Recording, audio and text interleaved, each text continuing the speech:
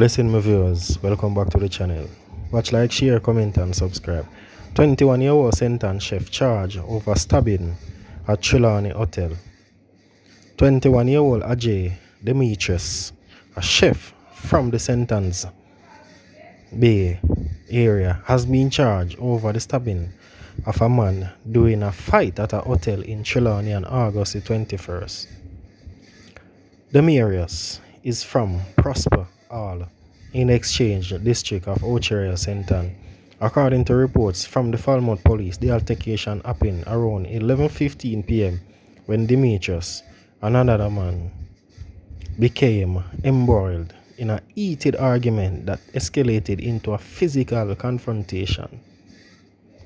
During the scuffle, Demetrius allegedly used a KNIFE to stab the other man in the lower abdomen. The police were alerted to the scene and the injured man was rushed to the hospital for treatment. He was subsequently arrested. He was charged with wounded with intent on Friday.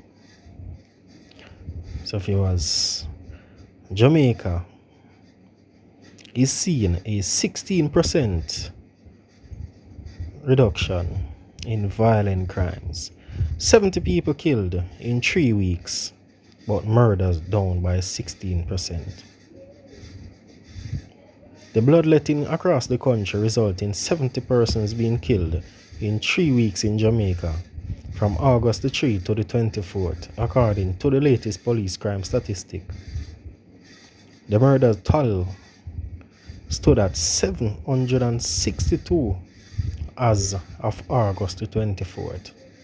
The Jamaica Constabulary Force JCF in the latest update of serious crime statistics to be published on its website in three weeks respond on Sunday that murders are down by 16% year on year.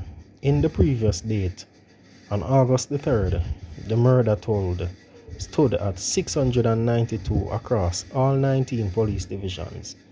The latest murder figure represents a 143 fewer homicide than for the corresponding period in 2023 when 905 persons were killed. So murders are really down.